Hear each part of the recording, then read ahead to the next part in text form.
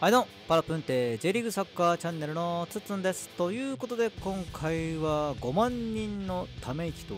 いうことで、今季リーグ戦最多ですかね、4万9000人が入ったゲーム、まあ、約5万人ですけどもね、のこのゲームで勝たずしてと、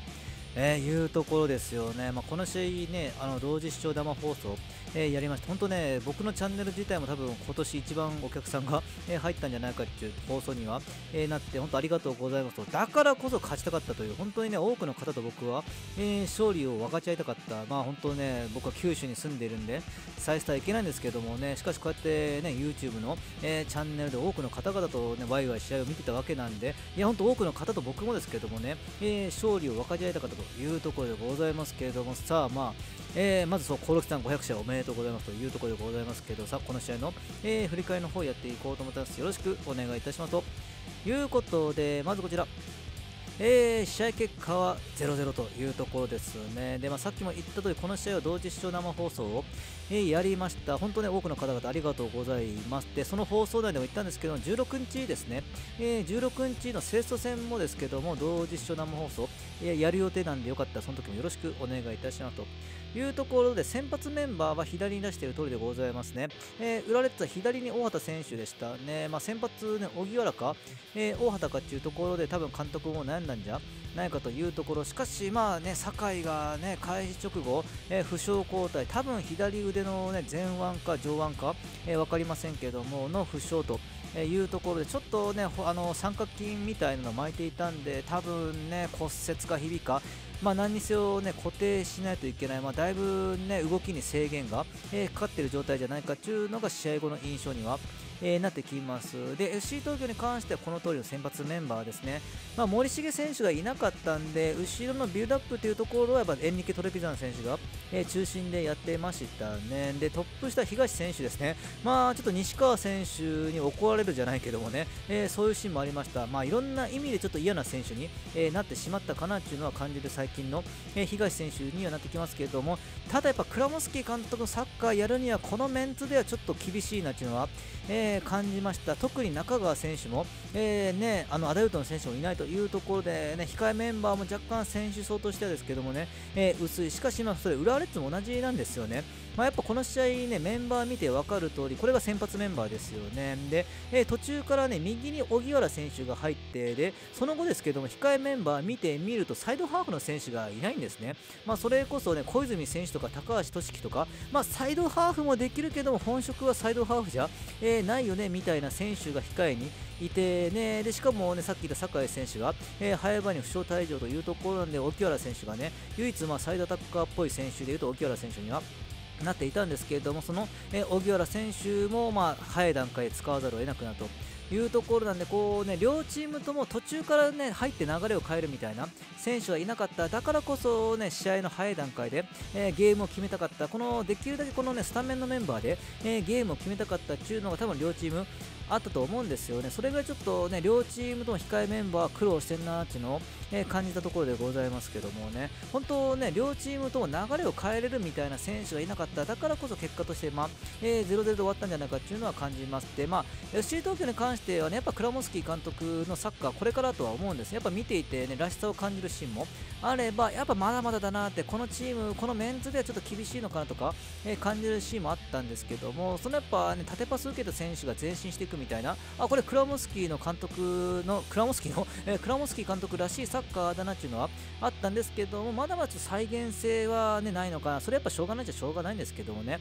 やっぱクラモスキー監督のサッカーっていうのは、後ろでじっくりこう回しながらですけどね、後ろでじっくりじっくり回しながらボランチから縦パス受けた選手がま前進していくみたいな、いや本当ね、この緩急のつけ方がうまいというイメージがあるんですけれども、まだまだやっぱそこまでは行っていないのかなっていうのはありました。だからこそこの試合ね、浦レッズはまだまだ未完の FC 東京相手に、えー、勝つべきだったんじゃないかっていうのは思いましたけどもね。だからまあ FC 東京に関してはね、えー、縦パス受けた選手があとどんだけね、スピード持って、えー、スピード感持ってね、ゴールに迫ることができるかどうかっていうのを感じましたけどもね。で、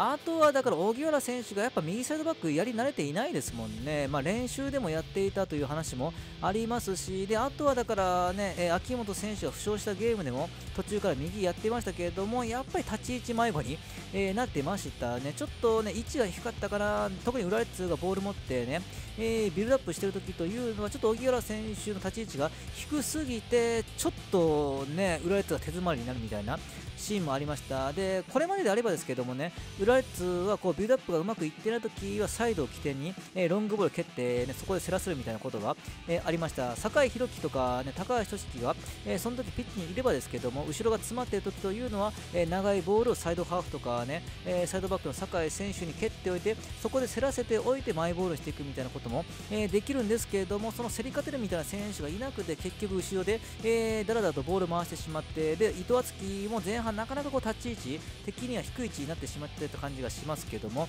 本当ね伊藤敦樹の立ち位置がねどうしても低くなってしまっていてそれやっぱ荻原選手が、えー、ビルドアップの時の立ち位置が悪くて結果としてねまあ自陣で引きこもってしまったみたいなもちろん場面によっては伊藤敦樹も高い位置を取って、えー、チャンスメイクに絡むこともあったんですけども一番いい時とかね、うん、調子がいい時とかうまくいってる時の伊藤敦樹の立ち位置よりもちょっと、えー、ちょっと低かったかなっていうのは感じたゲームでございますけどもね。で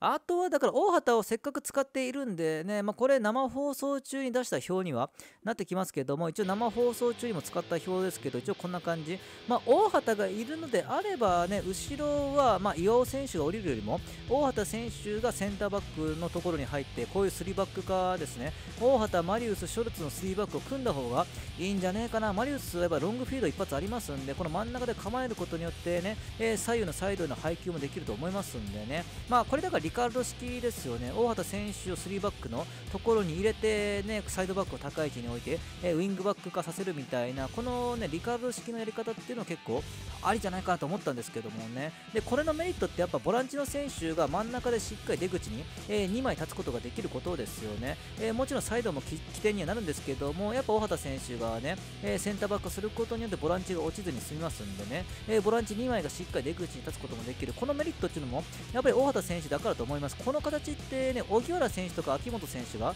左サイドバックやってる時って、この形って多分無理なんですね。やっぱり荻原にしても秋元選手にしても、この3バック化するみたいな、えー、選手じゃないんで、どっちかっていうと、その選手たちは高い位置に、えー、置いておきたい。しかし、ま大畑選手であれば、こう3バックの一角として、ね、プレーすることもできますんで、やっぱそこはね、やってもよかったんじゃないか。ただ、ね、スコーゼ監督の戦術はやっぱり、まあ、その、ね、リカルド監督前任とは、えー、違いますんで、難しさあるかもしれませんが、まあ、大畑を置くメリットはこういう形もあるんじゃなかろうかっていうのは感じましたけどもね。で、